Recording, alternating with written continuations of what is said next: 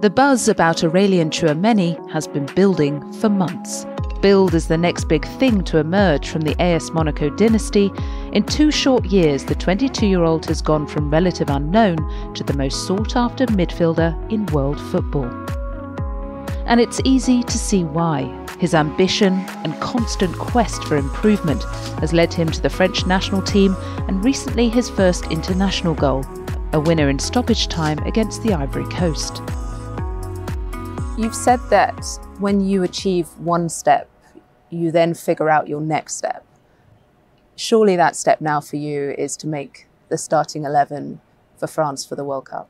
It's a big, big goal. I watched the game of the French national team uh, before their uh, 2018 World Cup uh, at Lyon against uh, United States. And at the beginning of the game, when I when I saw the atmosphere around the game and all this stuff. Uh, it was my first time when I said, okay, I have to be there. You've been described as, as, as a humble guy. How do you stay so grounded? Because I, I have more to achieve. When I was young, um, my parents told me, uh, you can do anything you want, but at the end, you have to be the best. If you want to, to work in a, a company, you have to be uh, the, the director of this company. Uh, if you want uh, to be a, a, chef, you have to work in the best restaurants. And this mentality uh, allows me to be the, the person who I am today. But increased publicity has also exposed the darker side of football.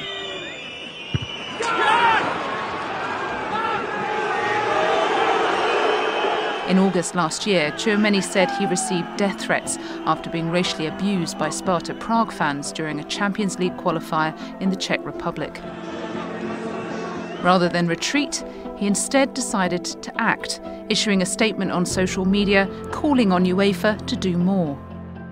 Why was it important for you to make that statement? We have to, to find a solution, you know, to, to, to ask to everybody in our world, uh, I speak about the, the world of football. How can we do to avoid the, this problem? That's why I, I asked some questions to, to the UEFA to, to ask if it was possible for, for example, to, to have like a, a brainstorming to, to think about uh, what can we do uh, to have a better world. Have UEFA responded to you about that? Not not now, but uh, hopefully we we will wait until they they make maybe a, another decision. What would you like to see? Because we, we, we have a lot of gestures, you know, take a knee, um, say no to racism, boycotts. Uh, is that effective, do you think, or should something else be being done?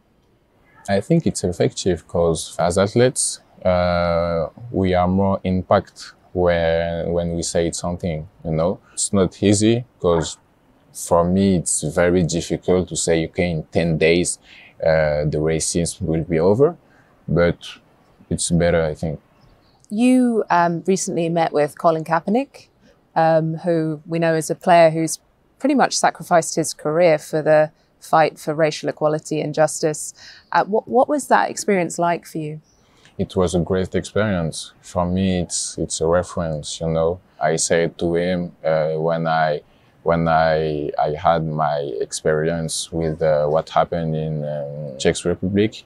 Uh, I I talked about it because you know it's it's not the same situation, but uh, I think uh, what he did um, is very powerful, and it means a lot for for us. I know you are a huge NBA fan, um, but in general, what is it that you love about American sports culture?